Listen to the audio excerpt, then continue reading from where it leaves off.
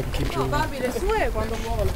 I think Guinness is playing a huge role in the growth of the sport for them to be able to bring teams over for exhibition games, but also to have them play for a prize. The uh, International Champions Cup is, you know, a phenomenal leap for our game for these summer series that we see in North America, and now having a competitive one thanks to Guinness. So, whether you get a chance to get out to a stadium or you're watching at home, make sure you drink responsibly and just enjoy this fantastic game.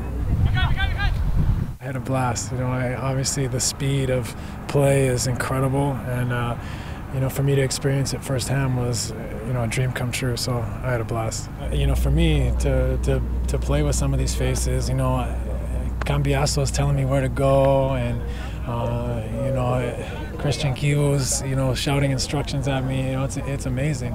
Uh, I'm playing with Diego Milito up front, and I mean, I, you know, you're kind of looking at these guys and looking back at them like, is this really happening? And they're they're they're actually, you know um, took it serious and played with me and, and, tried to give me the ball and told me where to go instead of it being just like you know let's get this big kid off the field. So for me it was uh, it was perfect and uh, you know I'll never forget this day.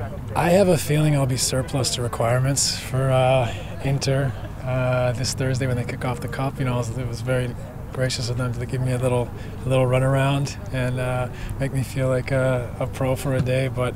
You know they're uh, well equipped without me. That's for sure. I'm sure you know, they got a kick out of uh, seeing someone who usually uses their hands out here on the field, though, and, uh, and I had a, an incredible day.